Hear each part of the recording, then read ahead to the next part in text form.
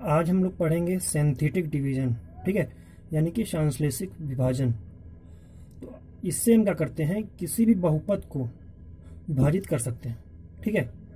तो जैसा कि हमारे पास ये बहुपद है कि एक्स की power five minus three x की power four plus x cube minus eight x minus one thirty five को एक्स माइनस चार से विभाजित करके भागफल और शेषफल ज्ञात करते हैं, ठीक है?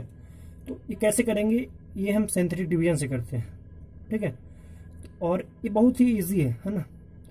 तो जैसा कि हमको बहुपद दिया हुआ है एक्स की पावर फाइव माइनस एक्स की पावर थ्री एक्स की power four plus x cube अब ये ध्यान देने वाली बात है कि अगर एक्स फाइव है फोर है थ्री है तो टू वाला टर्म यहाँ से गायब है।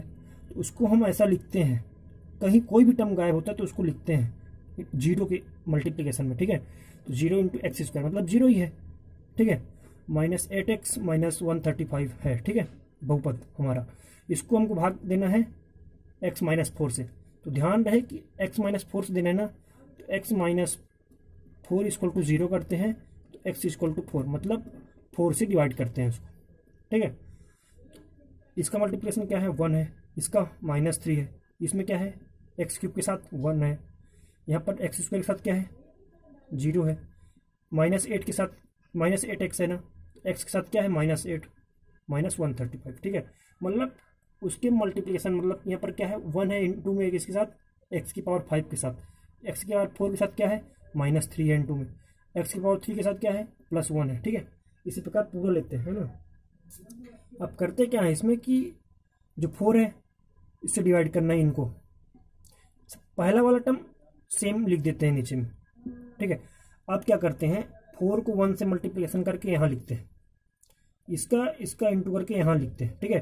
तो four into one into equal to four अब minus three plus four equal to होता है वन ठीक है? अब क्या करेंगे? ये फोर का इस वन से मल्टीप्लिकेशन करेंगे और यहाँ लिखेंगे। इसका इंटू करके यहाँ, इसका इंटू करके यहाँ। अगले वाले टर्म में लिखते हैं, ठीक है? तो फोर वन जब फोर हो गया तो फोर वन कितना हो गया? फाइव ठीक है? अब क्या करेंगे? अब फोर इंटू फाइव करेंगे, यहाँ लिखेंगे, ठीक है? तो फोर फाइव जो ट्वेंटी तो zero plus twenty equal to twenty, ठीक है? अब फोर इंटू ट्वेंटी, एट्टी, यहाँ लिखेंगे। तो eight, minus eight plus eighty, seventy two, ठीक है?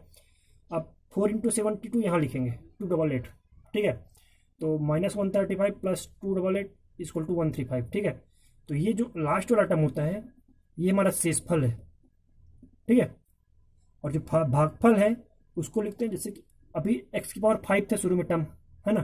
फाइव से चालू था एक्स की पावर फाइव से। तो इस भागफल में एक कम कर देते हैं।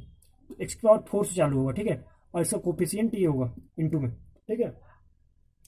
तो हो गया यहाँ पर वन इंटू एक्स की power four plus one into x की power three plus five into x square plus twenty into x plus seventy two ठीक है?